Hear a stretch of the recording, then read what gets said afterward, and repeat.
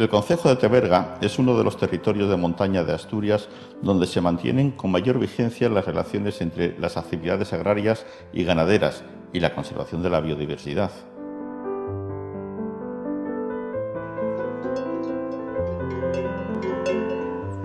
La ganadería de montaña ha conformado desde hace siglos extensas praderías que forman en las áreas de alta montaña uno de los ecosistemas más variados.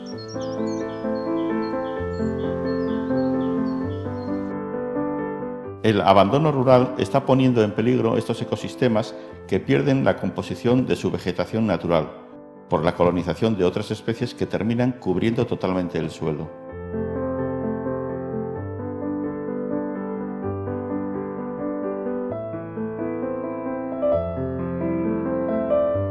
a través de los convenios de custodia del territorio que el FAPAS tiene suscritos con la parroquia rural de Páramo de Teberga y con el Ayuntamiento de Teberga y con el apoyo de la Fundación Biodiversidad, durante el año 2013 se ha estado trabajando en la recuperación de pastizales y praderías de alta montaña.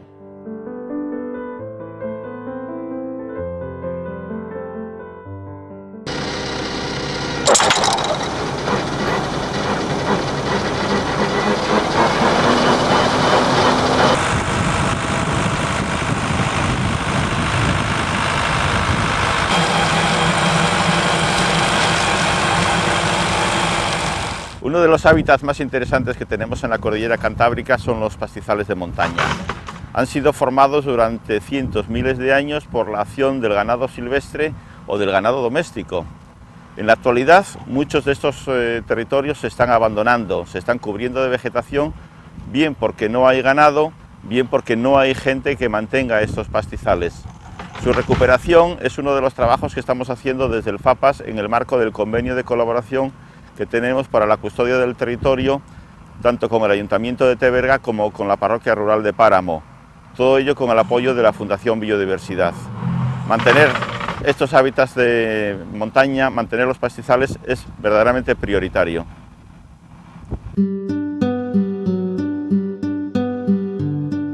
Objetivo de mantener las praderías de montaña es mantener la rica diversidad biológica que utiliza estos territorios, desde los ungulados silvestres, aves que encuentran en los pastizales su alimento o una diversa variedad de comunidades de insectos.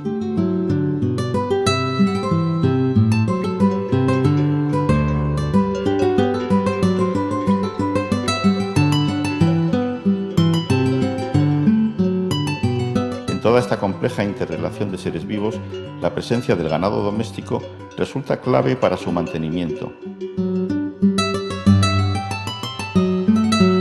El abono permanente aporta los nutrientes para su sostenimiento y la ganadería, a través del uso de los pastizales, favorece la presencia de estos animales que consumen sus carroñas, cerrando uno de los más interesantes ciclos biológicos de las montañas cantábricas.